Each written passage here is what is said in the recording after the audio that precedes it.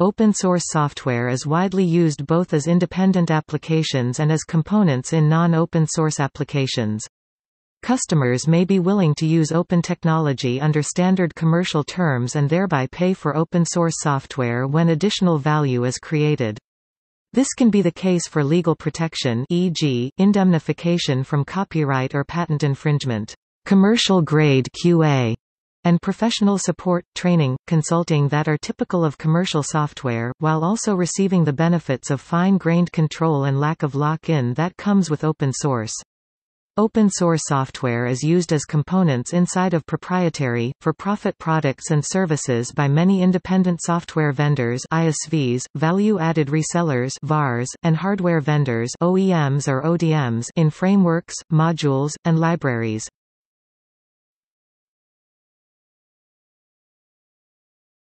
Topic: Funding. Much unlike proprietary off-the-shelf software that come with restrictive licenses, open-source software is distributed freely, through the web and in physical media. Because creators cannot require each user to pay a license fee to fund development this way, a number of alternative development funding models have emerged. An example of those funding models is when bespoke software is developed as a consulting project for one or more customers who request it. These customers pay developers to have this software developed according to their own needs and they could also closely direct the developer's work. If both parties agree, the resulting software could then be publicly released with an open source license in order to allow subsequent adoption by other parties. That agreement could reduce the costs paid by the clients while the original developers or independent consultants can then charge for training, installation, technical support, or further customization if and when more interested customers would choose to use it after the initial release. There also exist stipends to support the development of open source software, such as Google's Summer of Code. Another approach to funding is to provide the software freely, but sell licenses to proprietary add-ons such as data libraries. For instance, an open-source CAD program may require parts libraries which are sold on a subscription or flat fee basis. Open source software can also promote the sale of specialized hardware that it interoperates with, some example cases being the Asterisk telephony software developed by PC telephony hardware manufacturer Digium and the Robot Operating System robotics platform by Willow Garage and Stanford AI Labs.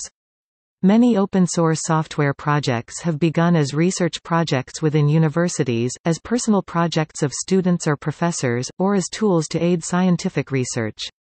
The influence of universities and research institutions on open source shows in the number of projects named after their host institutions, such as BSD Unix, CMU Common Lisp, or the NCSA HTTPD which evolved into Apache.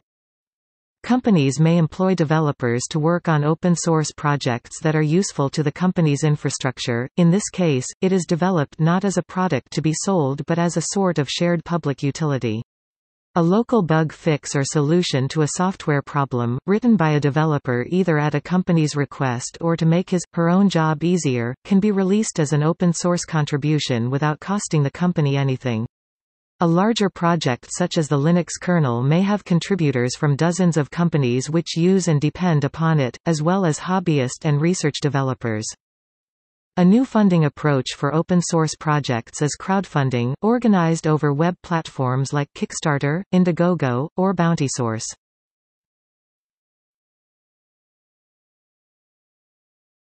Topic: Challenges.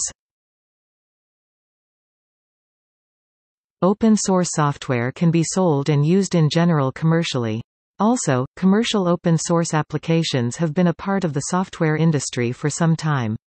While commercialization or funding of open-source software projects is possible, it is considered challenging, since several open-source licenses stipulate that authors of derivative works must distribute them under an open-source copyleft license. ISVs and VARs have to develop new legal and technical mechanisms to foster their commercial goals, as many traditional mechanisms are not directly applicable anymore. Traditional business wisdom suggests that a company's methods, assets, and intellectual properties should remain concealed from market competitors trade secret as long as possible to maximize the profitable commercialization time of a new product.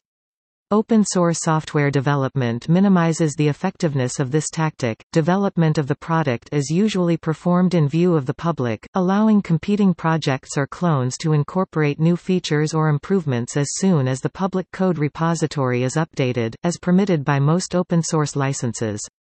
Also in the computer hardware domain, a hardware producer who provides free and open software drivers reveals the knowledge about hardware implementation details to competitors, who might use this knowledge to catch up.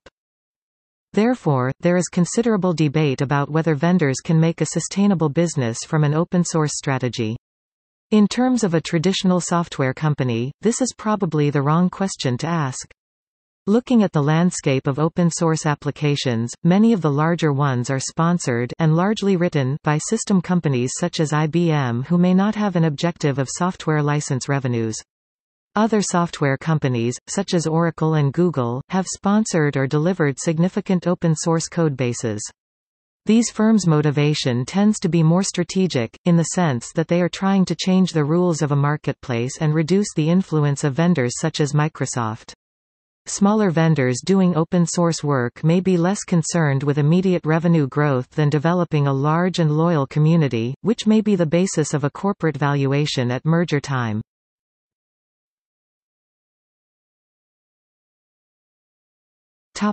Approaches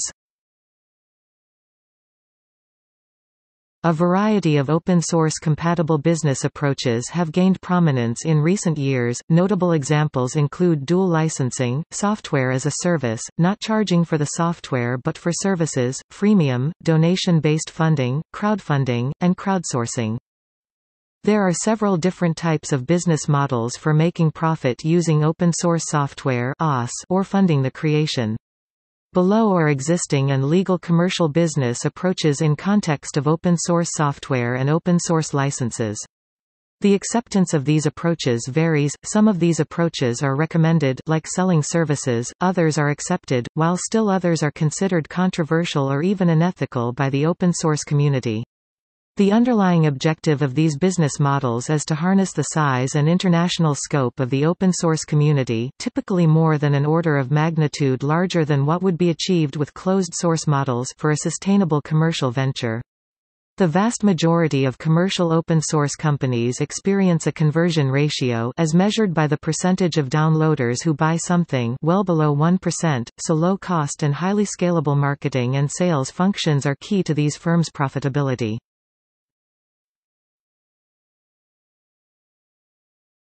Topic: Dual licensing. Dual licensing offers the software under an open-source license but also under separate proprietary license terms.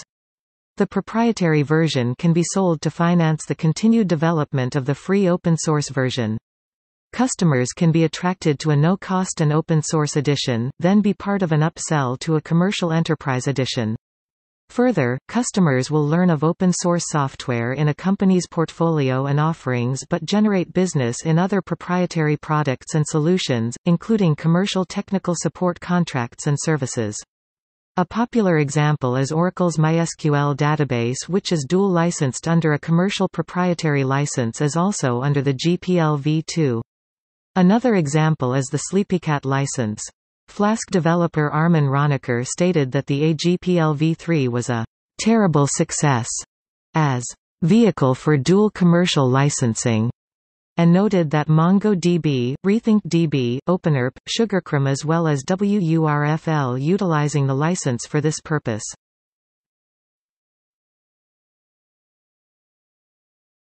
Topic: Selling professional services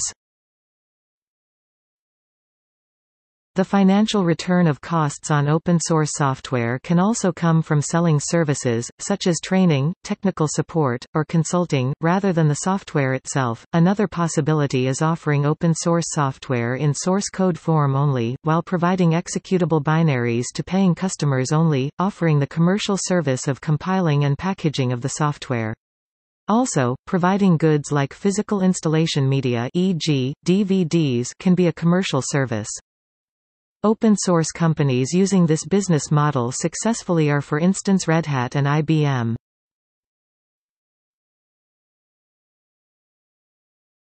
Topic: Selling of branded merchandise. Some open-source organizations such as the Mozilla Foundation and the Wikimedia Foundation sell branded merchandise articles like T-shirts and coffee mugs. This can be also seen as an additional service provided to the user community.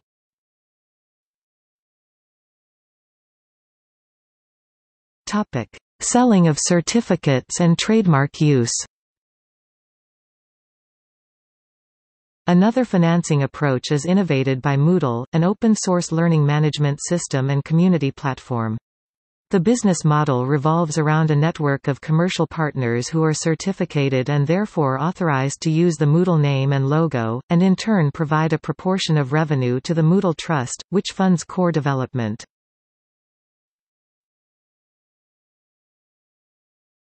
Topic: Selling software as a service. Selling subscriptions for online accounts and server access to customers is a way of making profit based on open-source software. Also, combining desktop software with a service, called software plus services. Providing cloud computing services or software as a service SaaS without the release of the open-source software itself, neither in binary nor in source form, conforms with most open-source licenses with exception of the AGPL.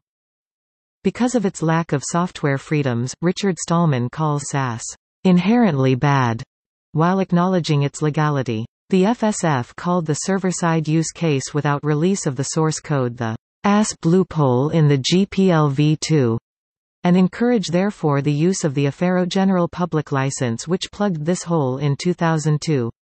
In 2007 the FSF contemplated including the special provision of AGPLv1 into GPLv3 but ultimately decided to keep the licenses separate.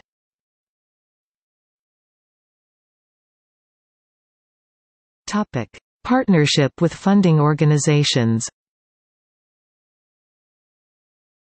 Other financial situations include partnerships with other companies.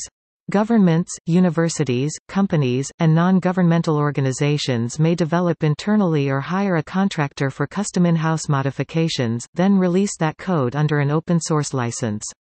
Some organizations support the development of open-source software by grants or stipends, like Google's Summer of Code initiative founded in 2005.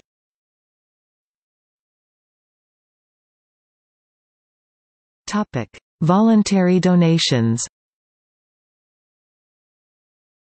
Also, there were experiments by independent developers to fund development of open-source software donation driven directly by the users, e.g., with the Illumination Software Creator in 2012. From 2011 to 2016 SourceForge allowed users to donate to hosted projects that opted to accept donations. Internet micro-payment systems like PayPal, Flattr, and Bitcoin help this approach. Larger donation campaigns also exist. In 2004 the Mozilla Foundation carried out a fundraising campaign to support the launch of the Firefox 1.0 web browser. It placed a two-page ad in the December 16 edition of The New York Times listing the names of the thousands who had donated.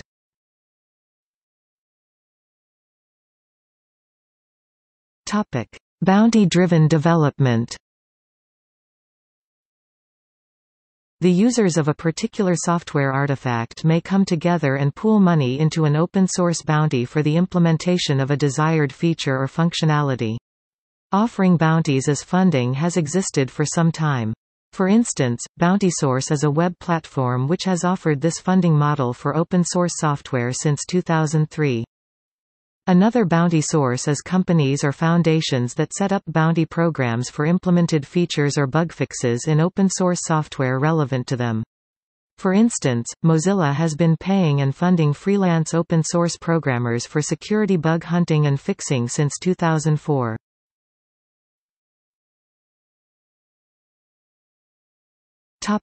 Pre-order, crowdfunding, reverse bounty model A newer funding opportunity for open-source software projects is crowdfunding, which shares similarities with the pre-order or prenumeration business model, as well as the reverse bounty model, typically organized over web platforms like Kickstarter, Indiegogo, or BountySource see also comparison of crowdfunding services. One example is the successfully funded Indiegogo campaign in 2013 by Australian programmer Timothy Arceri, who offered to implement an OpenGL 4.3 extension for the Mesa library in two weeks for $2,500. Archeri delivered the OpenGL extension code which was promptly merged upstream, and he later continued his efforts on Mesa with successive crowdfunding campaigns. Later, he found work as an employee in this domain with Collabora and in 2017 with Valve Corporation. Another example is the June 2013 crowdfunding on Kickstarter of the open-source video game Cataclysm, Dark Days Ahead which raised the payment of a full-time developer for 3.5 months. Patreon funding has also become an effective option, as the service gives the option to pay out each month to creators, many of whom intend to develop free and open source software.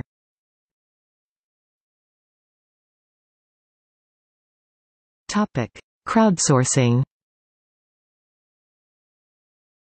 Crowdsourcing is a type of participative online activity in which an individual, an institution, a nonprofit organization, or company proposes to a group of individuals of varying knowledge, heterogeneity, and number, the voluntary undertaking of a task via a flexible open call. The undertaking of the task, a variable complexity and modularity, and in which the crowd should participate, bringing their work, money, knowledge and or experience, always entails mutual benefit. The user will receive the satisfaction of a given type of need, be it economic, social recognition, self-esteem, or the development of individual skills, while the crowdsourcer will obtain and use to their advantage that which the user has brought to the venture, whose form will depend on the type of activity undertaken. Caveats in pursuing a crowdsourcing strategy are to induce a substantial market model or incentive, and care has to be taken that the whole thing doesn't end up in an open-source anarchy of adware and spyware plagiates, with a lot of broken solutions, started by people who just wanted to try it out, then gave up early, and a few winners. Popular examples for crowdsourcing are Linux, Google Android, the Pirate Party movement, and Wikipedia.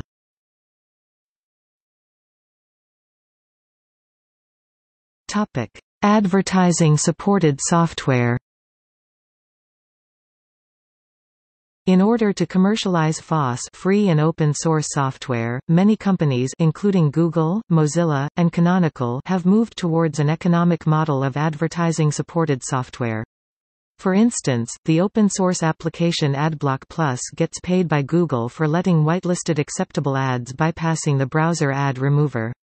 As another example is SourceForge, an open-source project service provider, has the revenue model of advertising banner sales on their website.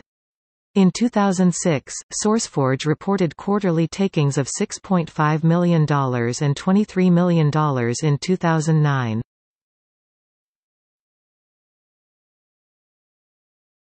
Topic: Selling of optional proprietary extensions.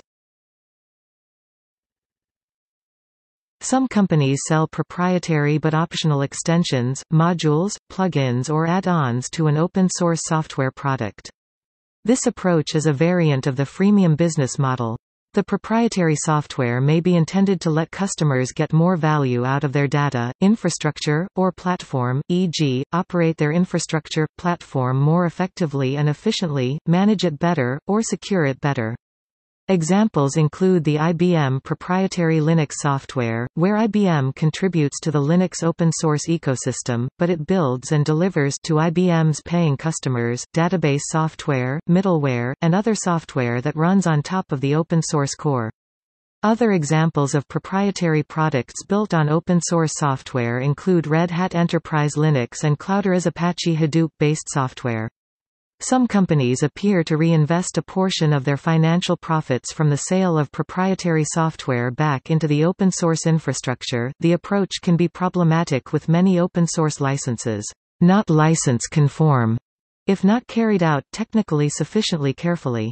For instance, mixing proprietary code and open-source licensed code in statically linked libraries or compiling all source code together in a software product might violate open-source licenses, while keeping them separated by interfaces and dynamic link libraries might often adhere to license conform.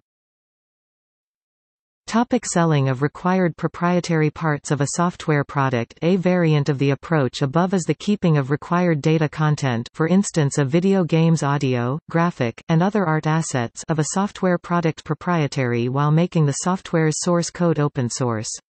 While this approach is completely legitimate and compatible with most open-source licenses, customers have to buy the content to have a complete and working software product. Restrictive licenses can then be applied on the content, which prevents the redistribution or reselling of the complete software product. Examples for open-source developed software are Kot-in-Action Creative Artel video game Steel Storm, Engine GPL v2 licensed while the artwork is CC by NC SA 3.0 licensed, and Frogatto and Friends with an own developed open-source engine and commercialization via the copyrighted game assets for iPhone, BlackBerry and Mac OS. Other examples are Arx Fatalis by Arkane Studios and Catacomb 3D by Flat Rock Software with source code open to the public delayed after release, while copyrighted assets and binaries are still sold on GOG.com as digital distribution. Doing so conforms with the FSF and Richard Stallman, who stated that for art or entertainment the software freedoms are not required or important. The similar product bundling of an open source software product with hardware which prevents users from running modified versions of the software is called TiVoization and is legal with most open source licenses except GPL v3 which explicitly prohibits this use case.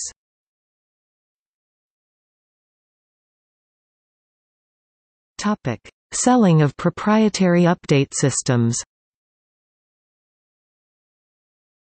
Another variant of the approach above, mainly used for data-intensive, data-centric software programs, is the keeping of all versions of the software under a free and open-source software license, but refraining from providing update scripts from AN to an N plus 1 version. Users can still deploy and run the open-source software. However, any update to the next version requires either exporting the data, reinstalling the new version, then reimporting the data to the new version, or subscribing to the proprietary update system, or studying the two versions and recreating the scripts from scratch. This practice does not conform with the free software principles as espoused by the FSF. Richard Stallman condemns this practice and names it diachronically trapped software.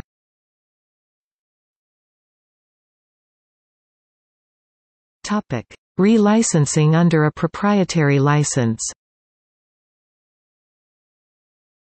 If a software product uses only own software and open-source software under a permissive free software license, a company can relicense the resulting software product under a proprietary license and sell the product without the source code or software freedoms.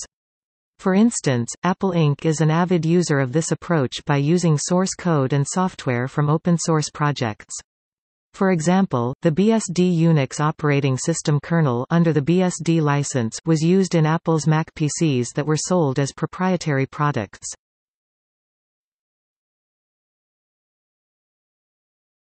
Topic: Obfuscation of source code.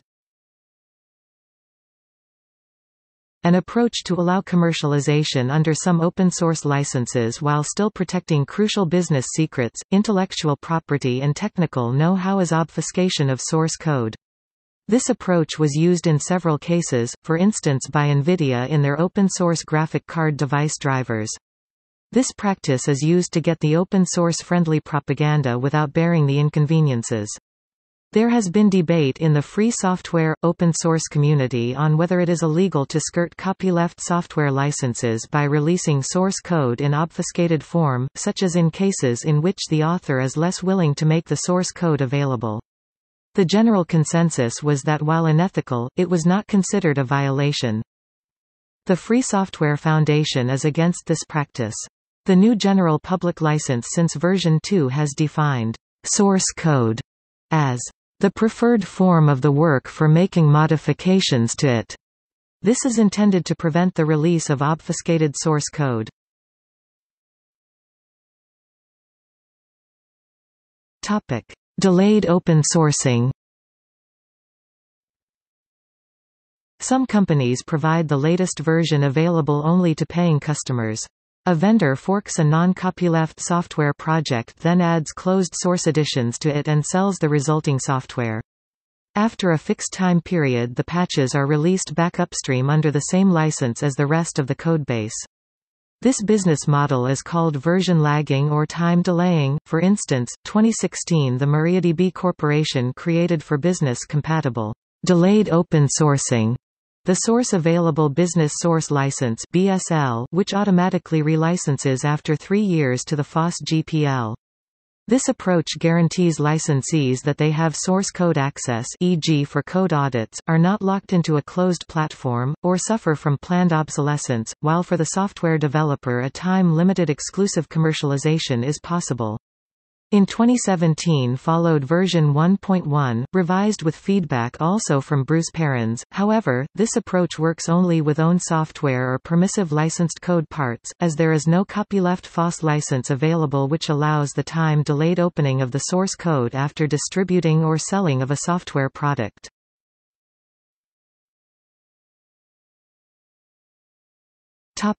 Open sourcing on end of life. An extreme variant of delayed open sourcing is a business practice popularized by id Software and 3D Realms, which released several software products under a free software license after a long proprietary commercialization time period and the return of investment was achieved. The motivation of companies following this practice of releasing the source code when a software reaches the commercial end of life, is to prevent that their software becomes unsupported abandonware or even get lost due to digital obsolescence. This gives the user communities the chance to continue development and support of the software product themselves as an open-source software project. Many examples from the video game domain are in the list of commercial video games with later released source code. Popular non-game software examples are the Netscape Communicator which was open-sourced in 1998 and Sun Microsystems's Office Suite, StarOffice, which was released in October 2000 at its commercial end of life. Both releases formed the basis of important open-source projects, namely Mozilla Firefox and OpenOffice.org/LibreOffice. However, Firefox eventually gained a more than self-sustaining revenue model, so Firefox was not an example of a commercial end-of-life release.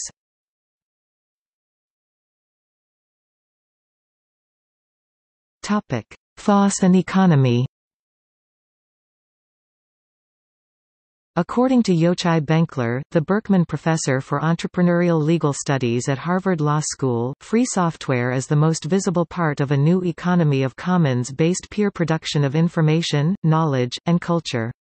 As examples, he cites a variety of FOSS projects, including both free software and open source. This new economy is already under development. In order to commercialize FOSS, many companies, Google being the most successful, are moving towards an economic model of advertising-supported software. In such a model, the only way to increase revenue is to make the advertising more valuable. Facebook has recently come under fire for using novel user tracking methods to accomplish this. This new economy is not without alternatives. Apple's app stores have proven very popular with both users and developers. The Free Software Foundation considers Apple's app stores to be incompatible with its GPL and complained that Apple was infringing on the GPL with its iTunes terms of use. Rather than change those terms to comply with the GPL, Apple removed the GPL licensed products from its app stores. The authors of VLC, one of the GPL licensed programs at the center of those complaints, recently began the process to switch from the GPL to the LGPL and MPL.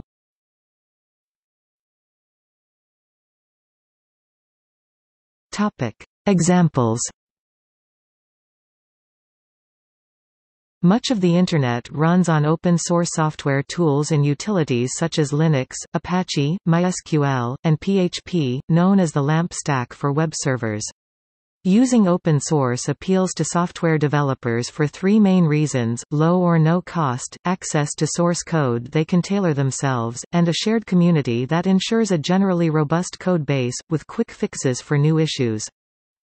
Despite doing much business in proprietary software, some companies like Oracle Corporation and IBM participated in developing free and open source software to deter from monopolies and take a portion of market share for themselves. See commercial open source applications for the list of current commercial open source offerings.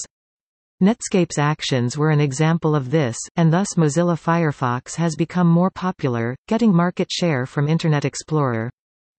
Active Agenda is offered for free, but requires all extensions to be shared back with the world community.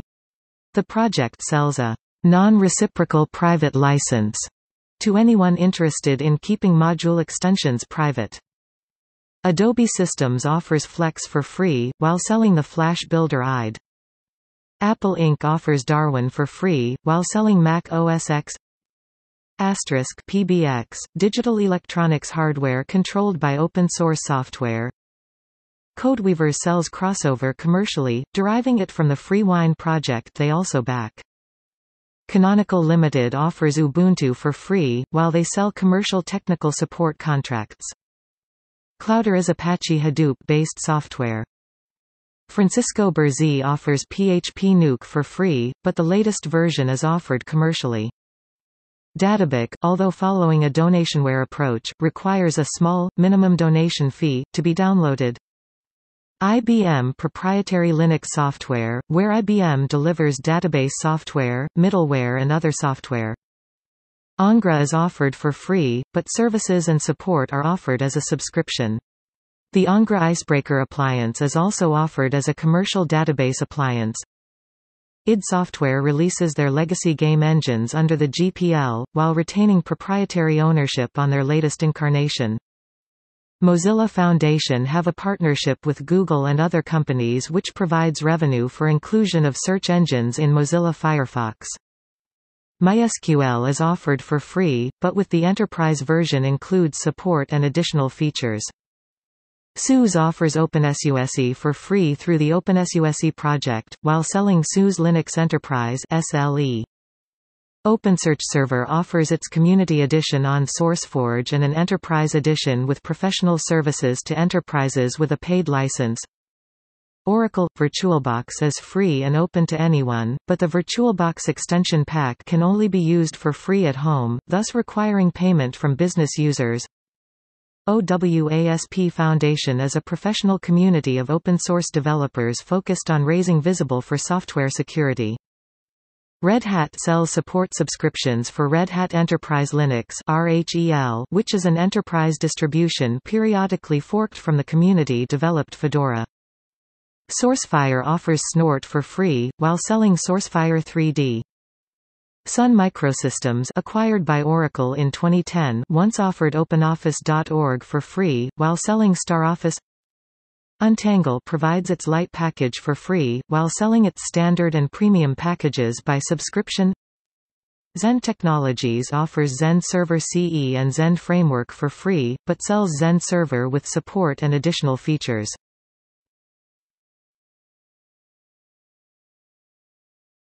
Topic.